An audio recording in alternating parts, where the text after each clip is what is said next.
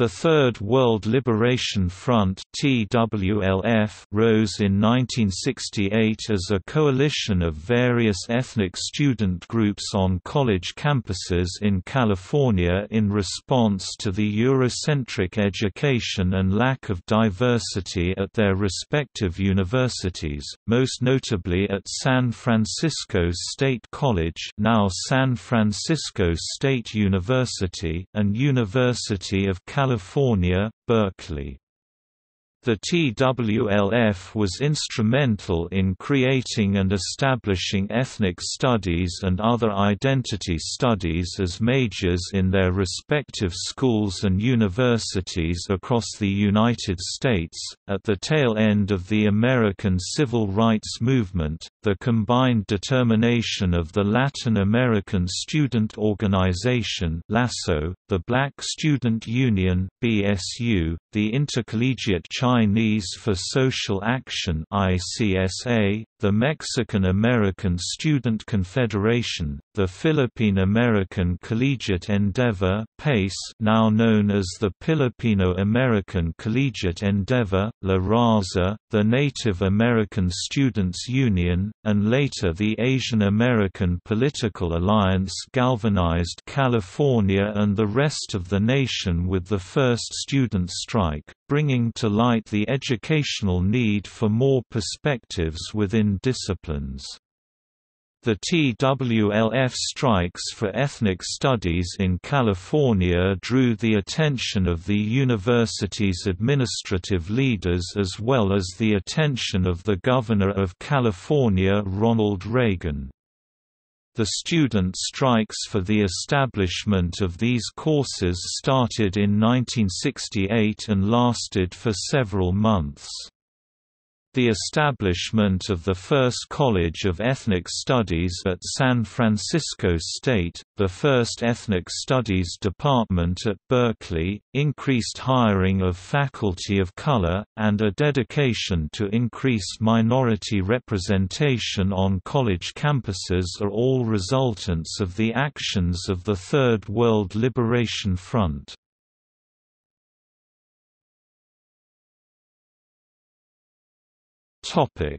TWLF and BSU strike at San Francisco State College The student and faculty strike started on November 6, 1968 and lasted until March 21, 1969, making it the longest strike by students at an academic institution in the United States. The strikes arose to protest the perpetual Eurocentric lens on education, as the demands of the strikers included an establishment of an autonomous department for ethnic studies, more faculty of color representation, and more representation of students of color on campus. John H. Bunzel writes that the students felt that education from kindergarten to college under the authority of the white community failed to focus on subject matter that was germane to the life experiences of the people in the minority community.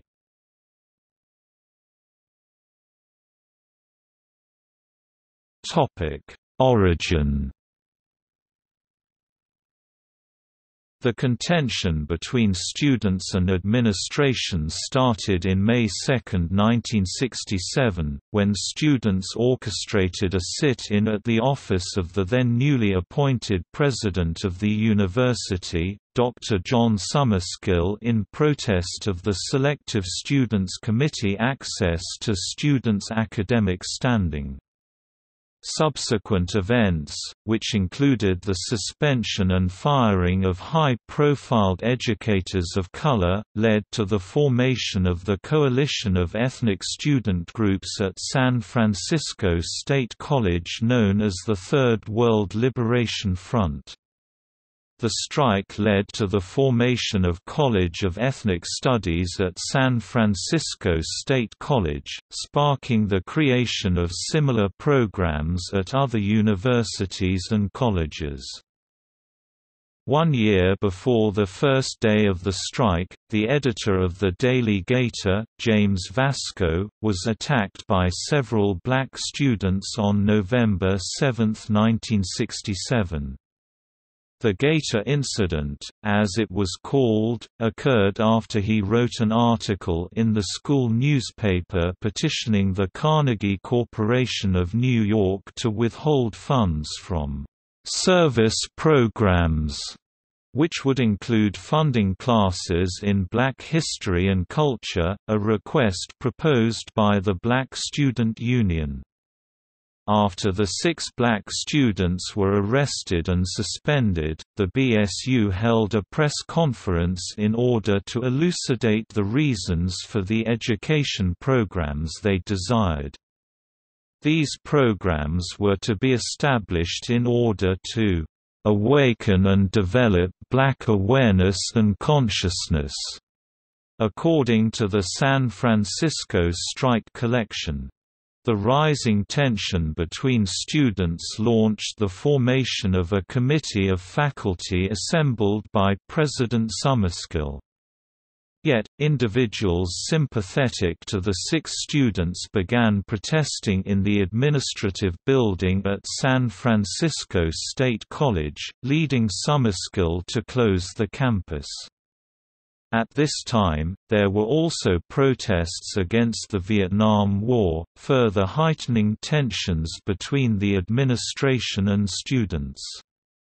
On February 22, 1968, Dr. Summerskill resigned from his post for the following school year, to later be replaced by Dr. Robert Smith. As tension continued to rise, the Third World Liberation Front on March 23, 1968 occupied the school's YMCA, forcing all YMCA employees to leave. Despite demands from President Summerskill to evacuate the premises, the students remained, especially in protest to keep a revered faculty member as a professor. They listed their demands as follows. 1 an end to Air Force ROTC on campus, 2 retention of Juan Martinez, 3 programs to admit 400 ghetto students in the fall semester, and 4 the hiring of nine minority faculty members to help the minority students.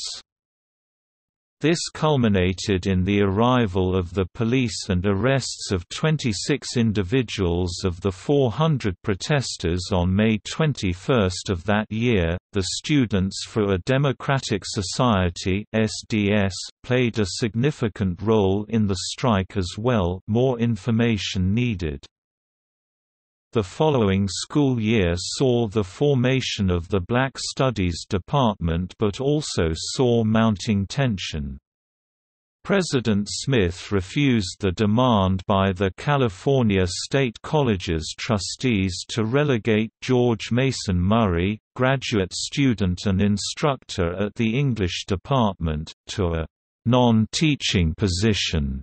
This came after Murray's remarks to students at Fresno State College which allegedly included we are slaves and the only way to become free is to kill all the slave masters, mounting pressure from trustee members Other administrators like SF State Chancellor Dumke forced Dr. Smith to suspend George Mason Murray despite threats of strike from the BSU, after which led to a presentation of 15 demands from the TWLF.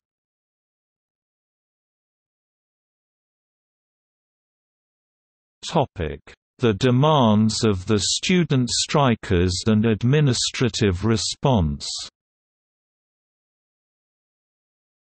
From Helen Whitson's introductory essay in the San Francisco State College Strike Collection.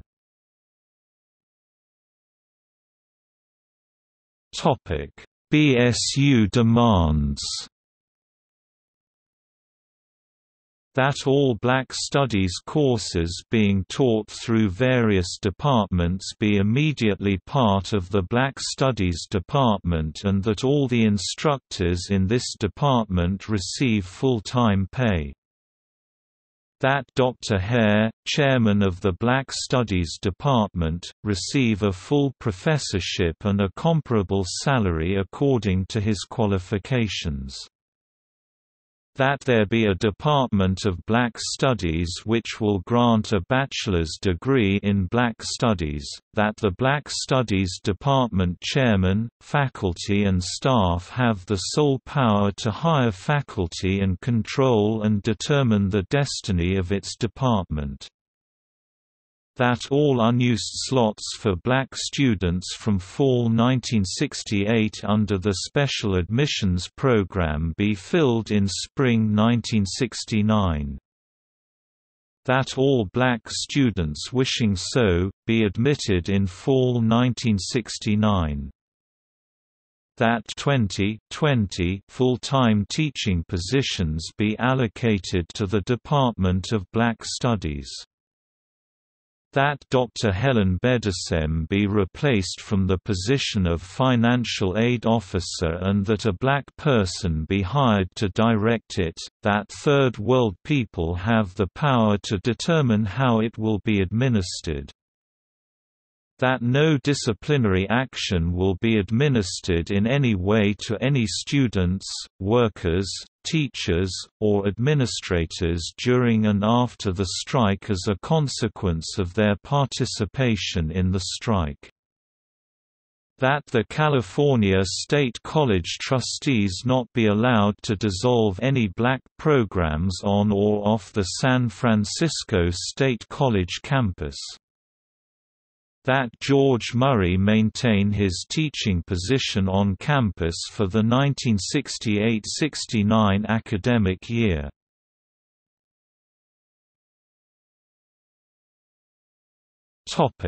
TWLF demands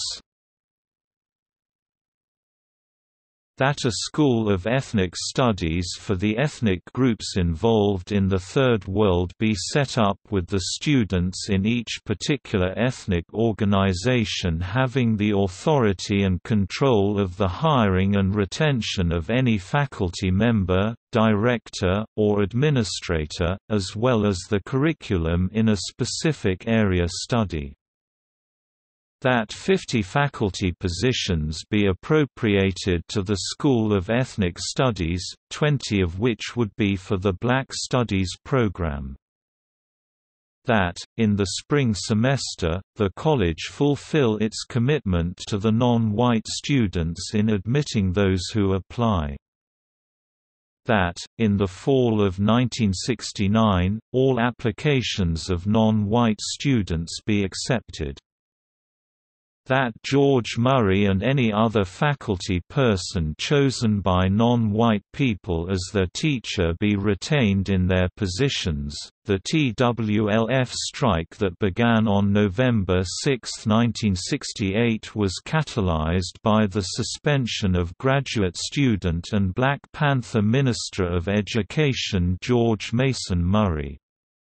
There was an approximate 15% reduction in student attendance in November at the start of the strike, but police were called to campus anyway on that first day. Police brutality was a common sight throughout the strike. From that moment on, these students would remain on strike for five months until March 21, 1969. Negative and violent interactions between police and students lead Dr. Smith to close campus for a week and faculty meetings ensued.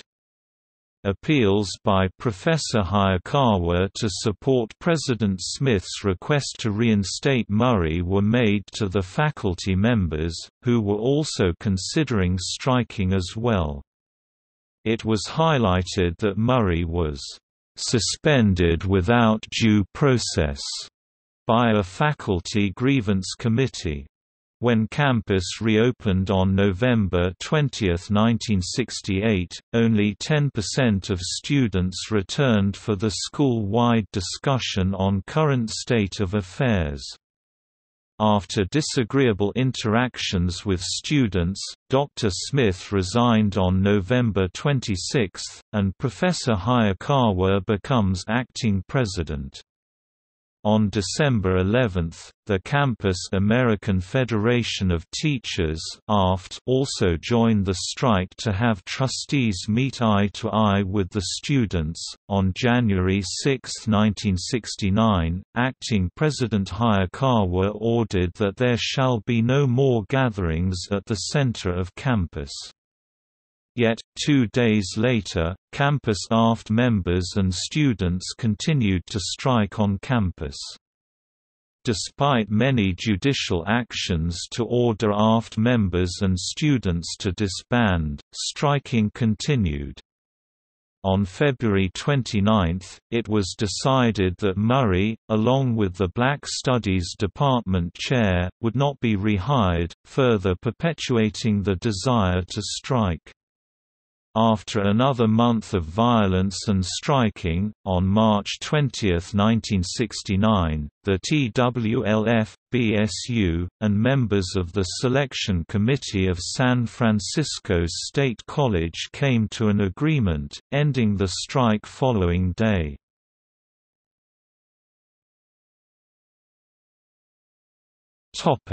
The outcomes of the strike Helen Whitson's essay for the San Francisco State College Strike Collection highlights and tabulates the demands and their outcomes during the agreement of March 20, 1968. File, Outcomes of the TWLF strike at SFSU in 1968.pdf Today, San Francisco State University holds an annual Ethnic Studies Conference, inviting high school students to engage with and understand what ethnic studies is and the reasons for its establishment.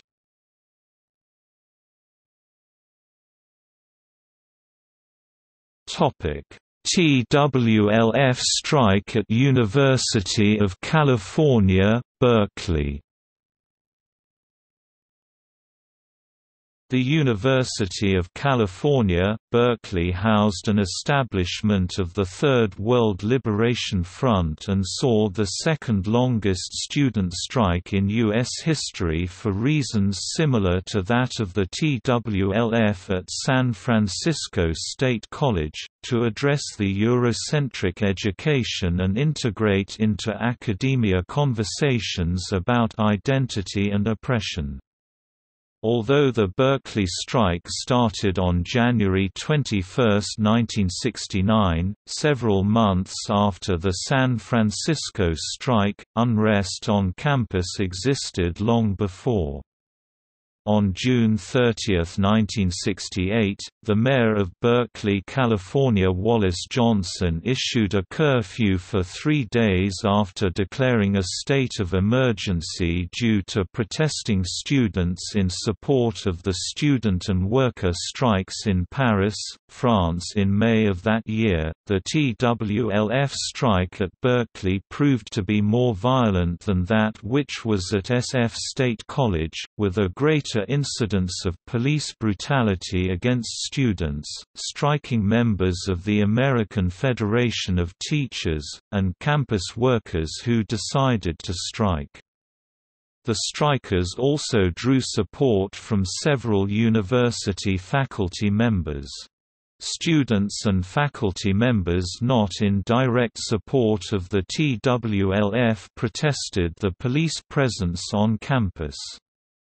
The violence escalated to a point at which Governor Ronald Reagan had to declare a state of extreme emergency, while the Berkeley president decided to prohibit demonstrations on campus.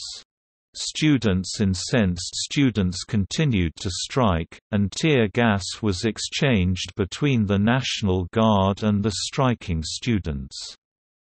Their efforts resulted in the first Ethnic Studies Department in the United States on March 7, 1969, closely followed by the creation of the first College of Ethnic Studies in the U.S. at San Francisco State on March 20.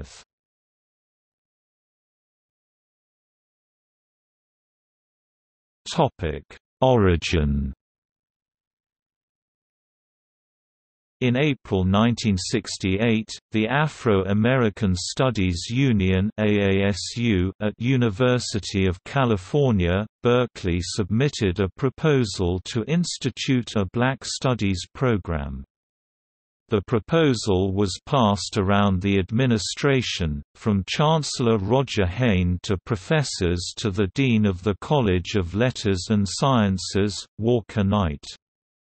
In December, when a committee was assembled to discuss the students' proposal without a student representative, no conclusion could be made as to whether or not a Black Studies should be a program within a larger department or a department itself. In August, the Mexican American Student Confederation to ask the university to withhold the purchase of table grapes in support of striking farm workers. The university agreed to boycott the grapes. Yet, Governor Reagan and his agricultural secretary Earl Coke spoke out against the school's decision to boycott the table grapes. President Hitch forced the school to resume the purchase of table grapes, and 11 MASC students were arrested for trespassing and unlawful assembly when trying to meet with President Charles J. Hitch.